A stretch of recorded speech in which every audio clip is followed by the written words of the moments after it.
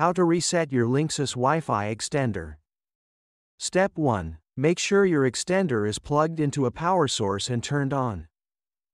Step 2. Locate the reset button on your extender. It's usually a tiny pinhole, either on the sides or bottom of the device.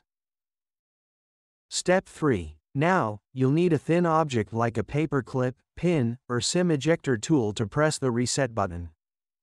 Step 4. Press and hold the reset button for 10 seconds, you'll see the lights on the extender blink or turn off.